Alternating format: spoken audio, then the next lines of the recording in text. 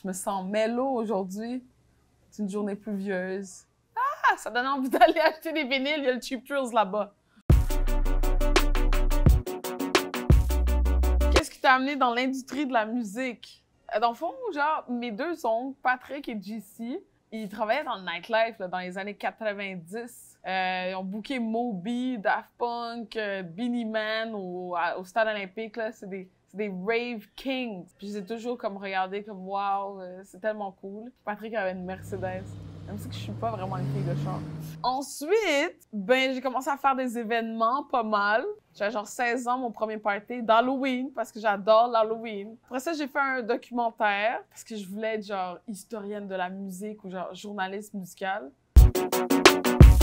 Je tripe sur Gal Costa, évidemment, Caetano Veloso, Moody Man, Pevin Everett, Seven Davis Jr., Victor Duplay. La chanson qui vient direct dans ma tête, c'est Un été à Montréal de Dogmatic. Mais après, j'ai euh, Rain Man, pas de chilling. Mais en même temps, on chill en esti.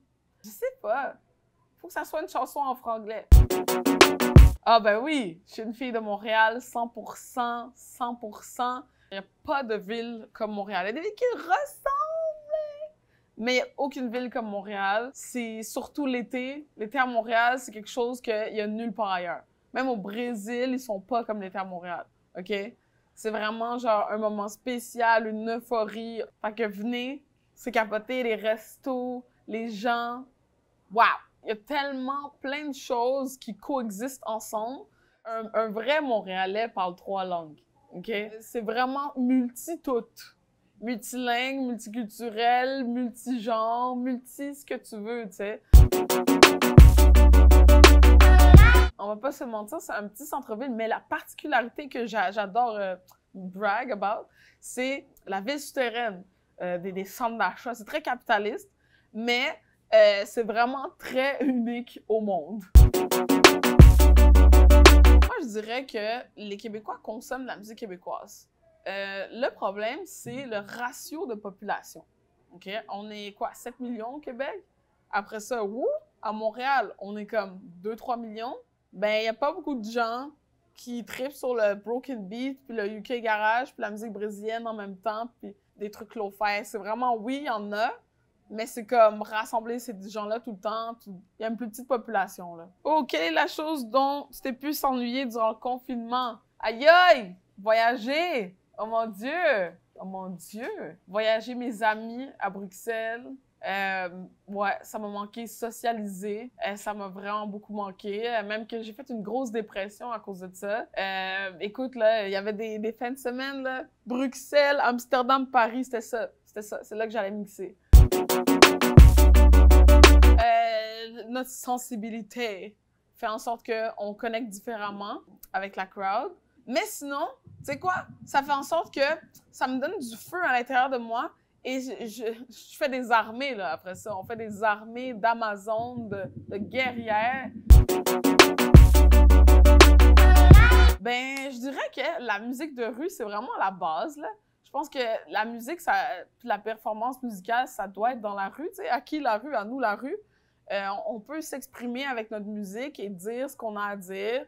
Peu importe c'est quoi, je suis en amour ou euh, je n'aime pas le gouvernement en place. Tu comprends? Je veux dire, peu importe ce que tu vas dire, mets-toi sur le coin, chante-le, crie-le, danse-le, fais une peinture, ce que tu veux. Donc, l'art de rue, c'est vraiment magnifique. C'est beau, c'est pur.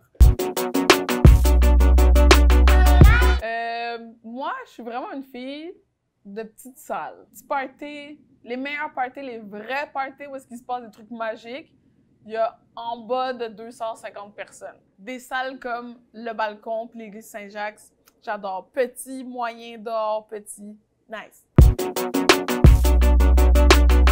Ben oui, dans le fond, ben c'était, euh, j'ai joué à XPMTL avec Wally et Calitechnis. Wally, c'est ma bonne chum, ça fait 10 ans qu'on se connaît. On travaille ensemble à Pop Montréal. On chill 24/7 ensemble. Fait que c'était le fun de genre faire un show. On a mixé ensemble des fois, mais j'ai jamais comme été sur un bill avec elle puis elle faisait un live. Et là, Calitechnis et moi, on a fait une tune ensemble. Elle est déjà sortie d'après moi en ce moment, hein, si les choses se passent bien. Et la chanson s'appelle Sirens. Fait que ça faisait un, plaisir de partager cette chanson-là. C'est aussi une singer-songwriter que j'adore. Si vous la connaissez pas, il est le temps. J'ai toujours invité des personnes à venir faire des shows avec moi. C'est la base de qui je suis, en fait, en tant qu'artiste. Toujours inviter des personnes émergentes. J'ai toujours fait ça. On me connaît pour ça. Partout dans le monde, en plus.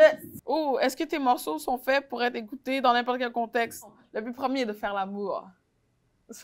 Euh, non, danser, euh, s'aimer soi-même euh, et euh, s'aimer avec les autres.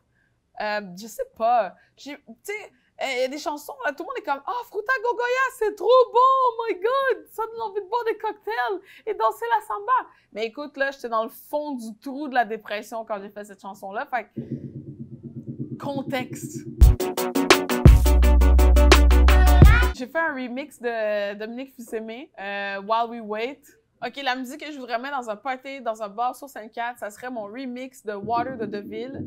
Ça sonne comme de la musique de chicha, mais genre liquid drum and bass, capoté.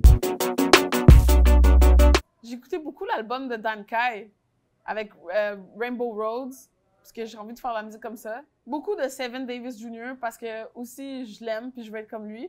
Mais sinon, j'écoute en repeat en ce moment la chanson euh, le cover de California Dreaming de Mamas and the Papas, le cover de Eddie Hazel, vraiment low-fi, full soulful, puis aussi euh, l'album Going Normal de Matt Martian, c'est exactement comment je me sens. C'est comme ça que tu te sens, mais tu ne sais pas encore. C'est quoi mon plus beau souvenir de carrière? Je dirais, il y en a beaucoup, mais toutes les personnes que j'ai rencontrées sur la route, euh, c'est des amis pour la vie.